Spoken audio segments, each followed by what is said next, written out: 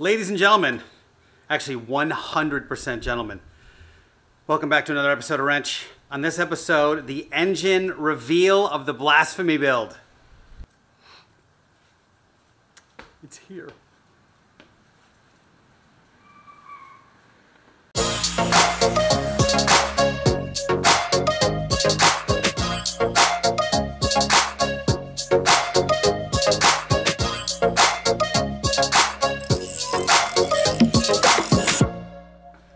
After months and months of research and planning, my engine has finally arrived. It's a very exciting day here at the offices of Rennch. And it's important you guys know what the plan was originally for this car. First of all, there's a reason it's called the Blasphemy build. Second of all, I had a couple of things in mind when I decided to start with this bare shell. And keep in mind, for all of you purists out there, this was nothing but a bare shell. This was a facsimile of its former self.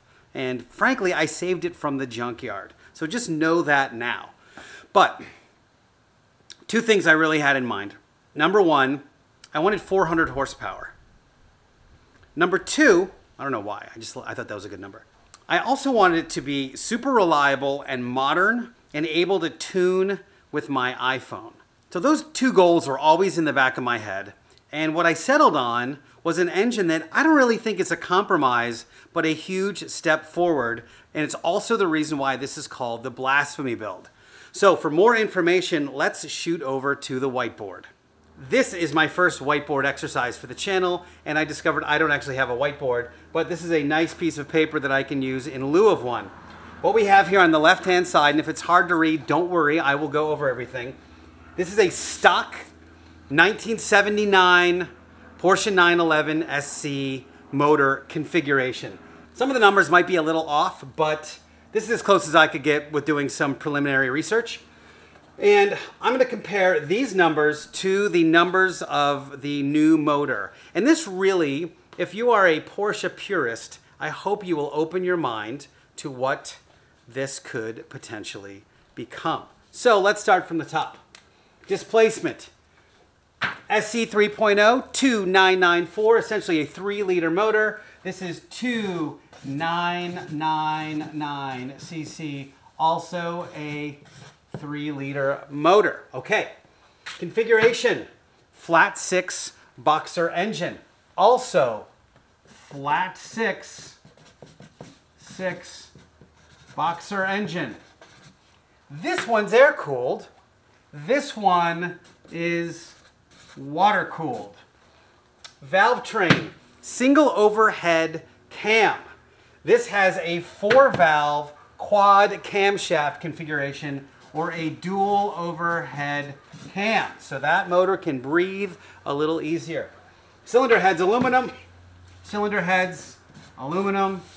The bore on this motor is uh, 95 millimeters apparently on the SC. On this bad boy, it is uh, 89.2. Stroke is 74. Stroke for me is 80 mil. Compression 9.3 to 1. That's the Euro spec SC motor. This one has 10, uh, 10.7 to 1. Injection, this is a big one. Uh, CIS, mechanical injection, or of course carburetors, if you will. Um, this is not that at all. This is drive-by-wire. This is uh, EFI with drive-by-wire. The cam is a fixed cam on an SC motor, and this is really where things are amazing. This bad boy is very comparable to Honda's iVTEC. So variable camshaft, variable lift, variable timing, cam, power. The SC motor, 180 horsepower. This mystery engine, 240 horsepower out of the gates. And finally, and this is the linchpin, the cost. The cost of all of this technology that's now 40 years old and 180 horsepower is right around $15,000 for the motor. And if you need a rebuild, which many do because they're tired because they're 40 years old, $15,000 for a rebuild. Now, I looked on Craigslist, I looked on Pelican, I looked on eBay, I called shops. That's those are general averages for how much these engines cost. I know you've probably seen one on a pallet for 8 grand and you could put it in your car and it would work great, but in general, I sold mine a couple of years ago uh, before it really went nuts for 12 grand. So just know that these engines are right around, let's say, twelve to fifteen thousand dollars, and rebuilds are ten to, who knows how much you want to spend on it. Cost of this mystery 3.0 engine, which is essentially an upgrade across the board.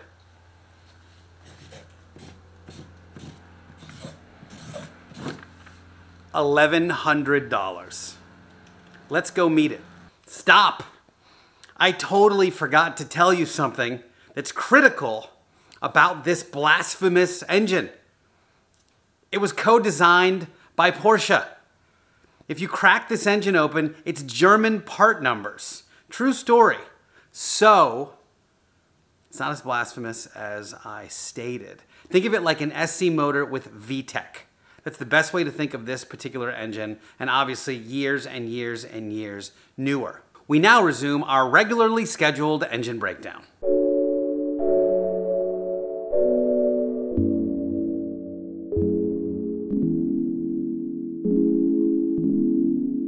This is the Subaru EZ30, otherwise known as the EZ30R by enthusiasts. It's the second generation EZ30. It's a water cooled flat six engine that was featured in the 2004 to 2009 Subaru Outback, Legacy, and Liberty. Compared to the first generation EZ30, the EZ30R was revised to add the Subaru Active Valve lift system to the intake cam, providing both variable valve timing and lift for the intake valves, which resulted in increased power, torque, and economy. It's essentially Subaru's answer to Honda's iVTEC. The cylinder heads for the EZ30R were also revised to include three exhaust ports per head instead of the single exhaust port used in the original EZ30 MK1, which gathered the exhaust from each cylinder bank into a single port.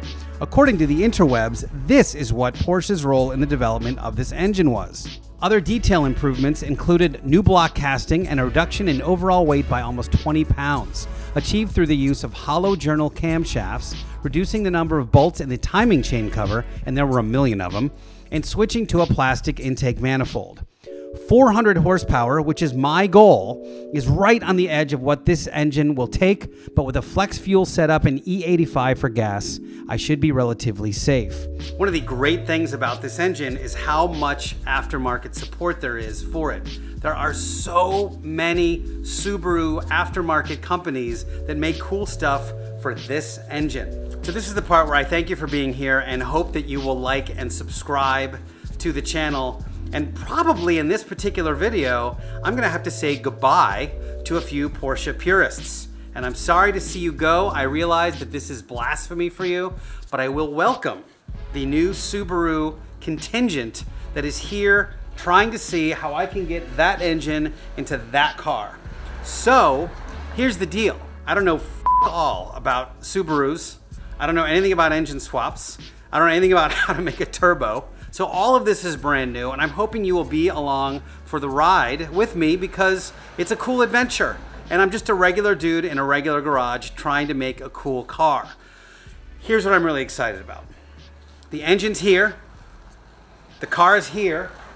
I have never seen the engine even mocked up in the car. So why don't we start with that? I'm gonna jack the back of the car up, slide the engine underneath, and just see how it looks.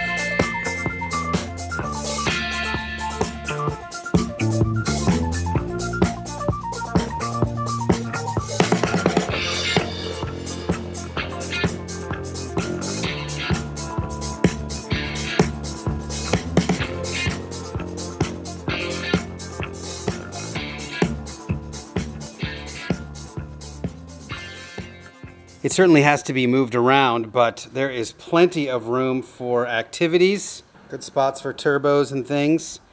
I do want to take a measurement and see how close we are to the front of the car. And then I might see if I can get the transmission at the very least to lay on the floor over there and see how much space I have to uh, work with. See how far forward I can get this entire contraption to again improve the weight balance. You can see that all of this has been cut out up here. So I do have some opportunity.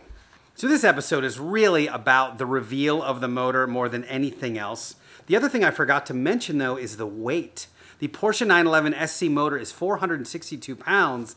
This Subaru EZ30 flat six is 397 pounds. So I take a 65 pound weight reduction at the back of the car. Now I will be adding a bit of that back with the turbos and the piping and that kind of thing, but I should see at least a 30 pound reduction in the very back or what we might call the polar moment of the car. And I think I might even be able to shift the transaxle a little bit forward to again improve the weight balance.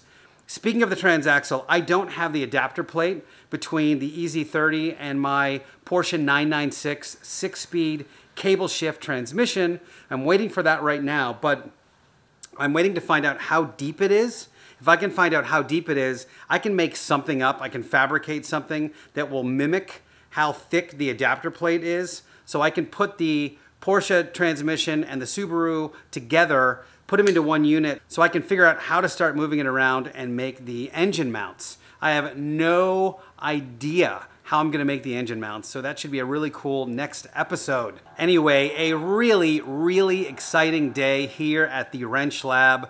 I finally have the heart to my transplant. Thank you guys for being here. I hope you'll hang with me for this entire blasphemy build, even if it's just to watch a guy who has no idea what he's doing try to do something really cool. And that reminds me, at any step of the way, if you guys know more than I do about a thing, please feel free to comment. I'm very open to learning, and that's why I'm doing this entire process so publicly. So thanks for watching. Thanks for hanging out. Make sure you please hit that like, hit that subscribe, hit that notification bell. I'll see you next time.